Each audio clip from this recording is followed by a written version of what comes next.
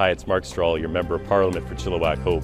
One of my favorite Christmas traditions is uh, my dad, every Christmas gathering that we have, he rewrites the words to Twas the Night Before Christmas and includes a stanza for each member of our extended family, especially his grandchildren, and gathers up stories throughout the year and tells a little bit of their story. And this year's going to be quite a story to tell, even though we won't be able to gather in our usual way. But I want to wish each and every one of you and all of your families and loved ones a Merry Christmas, a Happy Holidays, and hopes for a better 2021.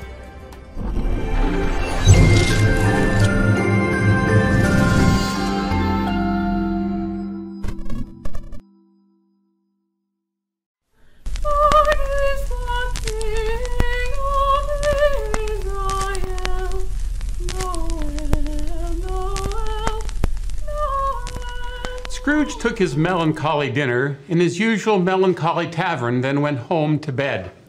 He lived in chambers which had once belonged to his deceased partner, Marley. Now, it is a fact that there was nothing at all particular about the knocker on the door except that it was very large.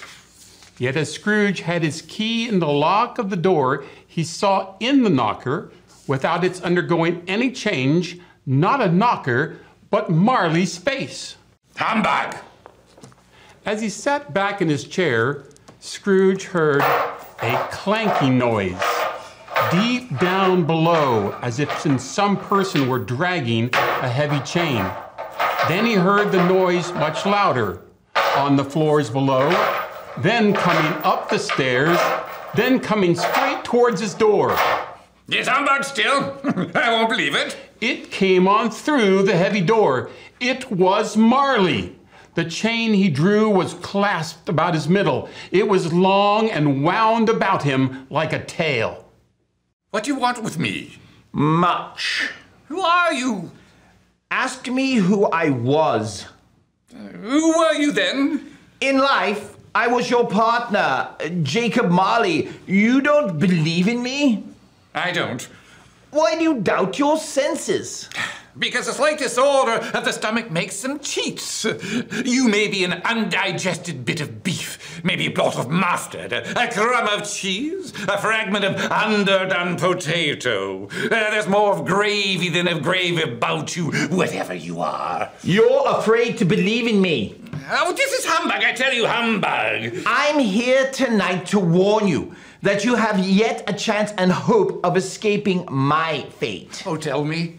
You will be visited by three spirits. Is that the chance and, and hope you mentioned? It is. I, I, I think I'd rather not. Without their visits, you can't hope to shun the path I tread. Expect the first spirit when the clock on the church tower tolls one. Could I take them all at once and, and have it over with? Expect the second when the clock tolls two. Must it be so? The third will come when the stroke of three has ceased to vibrate. Mm, how will I know them? You'll know. For your own sake, remember what has passed between us. Look to see me no more. And remember me. Remember me. Remember me.